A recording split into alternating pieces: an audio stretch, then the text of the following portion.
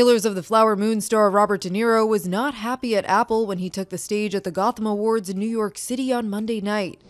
The Oscar winning actor was on hand to introduce the Historical Icon and Creator Tribute Award for Martin Scorsese's Apple film, which also stars Leonardo DiCaprio and Lily Gladstone. But when he began reading his prepared remarks for the introduction of the award, he noticed his comments were edited. De Niro insisted he read the original speech he was going to give, which featured several specific political comments, including ones about Donald Trump. De Niro then noted what he wanted to read, saying in part, History isn't history anymore. Truth isn't truth. And even facts are being replaced by alternative facts and driven by conspiracy theories and ugliness. In Florida, young students are taught that slaves develop skills that could be applied for their personal benefit.